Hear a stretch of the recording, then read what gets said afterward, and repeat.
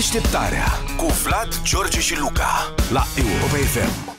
Bună dimineața, prieteni, 7 și 20 Începem deșteptarea, sigur, cu cea mai cunoscută piesă italienească atunci când vine vorba de fotbal. E adevărat de la Copa del Mondo, dar cred eu că se potrivește și la Euro Clar. 2020. Luca vrea să asculte piesa de asta. Ma, mie, e greu să vorbesc când au piesa asta. Da, Luca, Luca a și pronosticat foarte bine pentru meciul de seară, a zis 1-1. Asta da. S-a ținut încă de vineri tare. Eu am zis 0-0. Bă, și când au dat ăștia gol în minutul 2, zic, ia uite mă, nu puteau să mă lase și pe mine vreun sfert de oră. Să mă bucur să zic tu că... ai ținut cu Anglia seara. Eu am ținut cu Anglia, da. Eu n-am avut o favorită. Am, am ținut cu Anglia din primul minut al campionatului european și atunci da. era cumva iurea să mă schimb să trec pe Italia, deși îi iubesc și ca echipă și ca țară. Dă mai tare.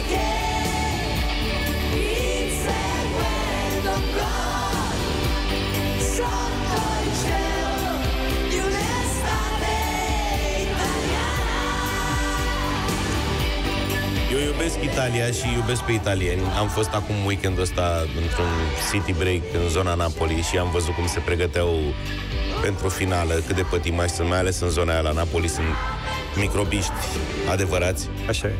Însă n-am crezut nicio secundă în Italia. Am spus-o de la început. Mi s-a părut că nu au un lot cu care să poată performa. Mulți fotbaliști de la echipe mai slăbuțe, că Napoli nu e în cea mai bună formă de unde vin Insigne și Di Lorenzo uh, zi. De la Juventus, de la cineva... Sassuolo, Locatelli și Berardi. Juventus iar n-a strălucit sezonul ăsta. Asta zicea cineva seară că jucătorii de la Juventus n-au făcut absolut nimic tot campionatul. Mă rog, s-au făcut de râs în campionat, practic, că n-au Cumva, da, jucat. adică chiar nu te așteptai să... Da, seară, mă rog, aseară, pe perioada campionatului european s-au mișcat chiar foarte bine. Bătrânelul de Chelini, Chelini... 7 de ani, zic, hai mă, și după atâtea meciuri cu prelungiri. Da, da, da, da, da chiar nu era de așteptat. Era știi? verde și în minutul 120, l-ai văzut? Da, mă, da, da, da. Dar aseară s-au întâmplat niște evenimente greu de explicat la asemenea nivel din partea selecționerului Angliei, Gareth Southgate. Te referi la, la cine tot. a exact, executat penaltiurile? Nu, la tot. De Odată ce? că a început meciul de la 1-0, cumva norocos că a venit golul la uh, primul gol marcat de Sean în cariera lui, îți dai seama, într-o finală de Euro, în păi... minutul 2 și încep practic de la 1-0 meciul și tu preferi, Anglia oricum a jucat meschin la acest turneu final, excepție făcând meciul cu Ucraina. Ucraina o adversară super modestă, a ajuns cu mare noroc în, în sferturile de finală. În rest, Anglia n-a strălucit în niciun meci, nici măcar în grupe. Da, și a jucat exact cum jucau italienii odată. De-aia și toată planeta a fost aseară lăsând la o parte penaltiul lui Sterling din meciul cu Danemarca, da, care am volburat și mai mult uh, apele. Mm, acolo s-au stârnit. Dar da, toată lumea a ținut cu Italia, pentru că Italia, de data asta, total paradoxal, a fost echipa spectaculoasă a acestui turneu final. O echipă care a jucat în fiecare meci ofensiv. Mai puțin meciul cu Spania, părerea mea. A avut meciuri care nu i-au ieșit. Meciul cu Austria, din uh-huh. optim, și meciul cu cu Spania din semifinale, în care n-a fost cine știe ce, dar au reușit să le ducă la capăt după prelungiri, penaltiuri cu Spania. Și uite că reușește acum să cucerească trofeul așa cu echipa asta, așa cum e, dar datorită geniului selecționerului Roberto Mancini, care, cum spuneam, a făcut două schimbări extraordinare în minutul 50 și ceva, când a simțit că poate e o pâine de mâncat la mijlocul terenului, și a fortificat mijlocul, a scos pe imobile care nu dădea randament acolo în față Corect. și a jucat fără vârf, deși era 1-0 pentru adversari. În schimb, Southgate a preferat să apere, a zis că mie nu mi s-a părut... așa și rămâne 1-0 până la da, final. Mie mi s-a părut că Anglia nu s-a retras neapărat. Poate că Italia n-a forțat în prima repriză atât cât ne-am fi așteptat, știi? Da, Anglia nu că s-a retras, a refuzat să atace.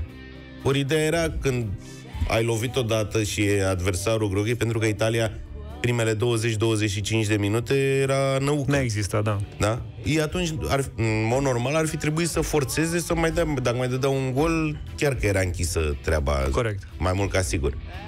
După care a urmat uh, introducerea lui Saka, jucător de 19 ani, într-o finală de campionat european, da.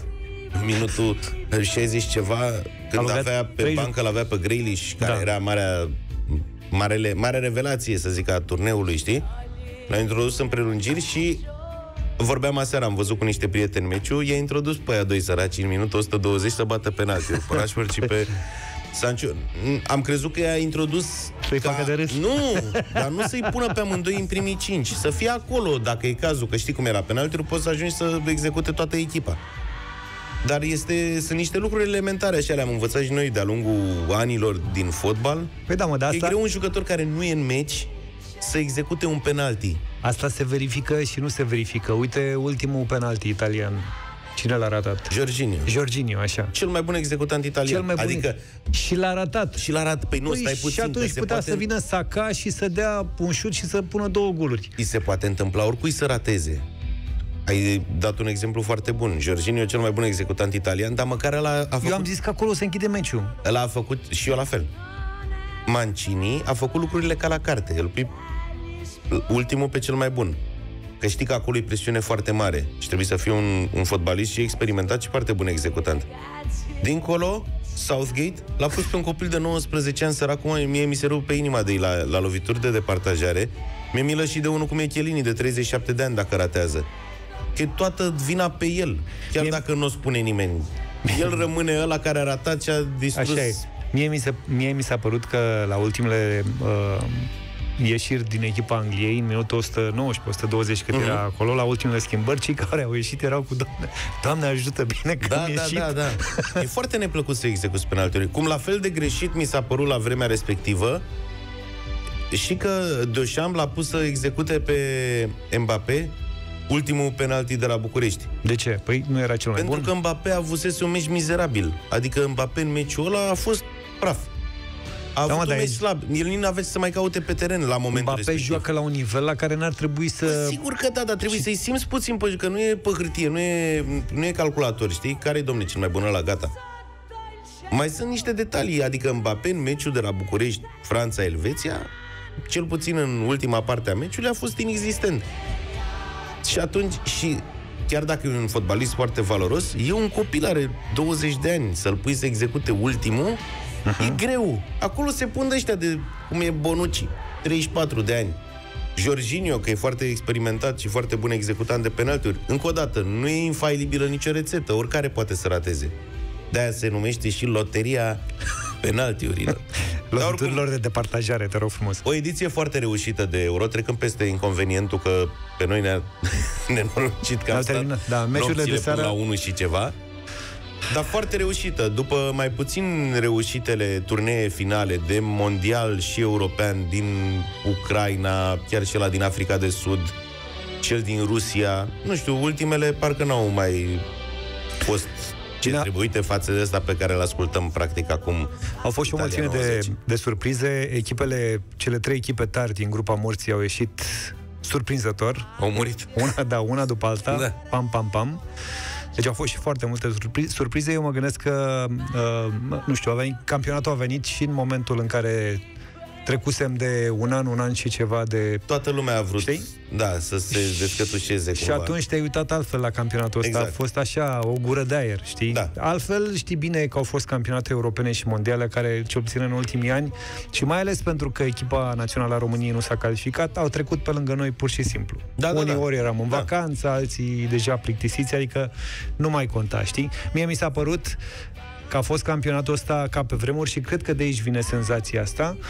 Uh, și mi-a plăcut tare mult în perioada grupelor, când erau multe joc, orice joc, mă uitam la orice, orice meci de fotbal în uh, perioada Mhm. uh-huh. aia, pentru că voiam să văd, știi, era, era o miză. Pe asta zic, ne-a și lipsit fotbalul Da. cu... spe- Au fost și spectatori. Că și asta Corect. a contat, știi, după toate meciurile alea. Că până la urmă s-a jucat fotbal în pandemie. Dar meciurile alea fără spectatori în tribune n-au niciun haz. Da. Una peste alta. Mie îmi pare rău că nu mi-a ieșit pronosticul până la capăt. Am mers pe Anglia încă de la început și ne-am împiedicat aseară. Vorbeam ieri dimineață cu Mihai Dinu, că am avut o intervenție la el, așa, Da. o avancronică a meciului, și spuneam, italienii au o vorbă, non c'è due senza tre. Ultimele două meciuri dintre Italia și Anglia, meciuri amicale, Da. ultimul în 2018, s-au încheiat 1 la 1. Și zic, Mihai, italienii au vorba asta, eu, aș- și eu așa cred. Că diseară va fi 1 la 1 și am zis, în prelungiri și la penaltiuri nu mă pronunț, că nu, nu-mi dau seama, nu văd în glob uh, Și până Mihai la ce a capăt. zis? Da, da, și el M-a un pronostic. felicitat aseară. Te-a felicitat? A, bravo. Pentru 1-1. Bine, să nu vă pară rău celor care ați uh, ținut uh, cu Anglia aseară. Una peste alta, Italia o să țină trofeul numai 3 ani, nu 4. Da. La anul avem Cupa Mondială. La fel de, de, dacă anul ăsta am avut acest euro itinerant, uh, absolut uh, particular, la anul avem prima Cupă Mondială de iarnă. Da. O să fie în Qatar în decembrie. Decembrie... Se schimbă lucrurile. Deci mai durează vreun an jumate. Până Cum ar veni. Bine. Cam așa. Păi ce să zic, bravo Italia! Forța Felicitări, Italia. da. Felicitări! Deșteptarea cu Vlad, George și Luca la Europa FM.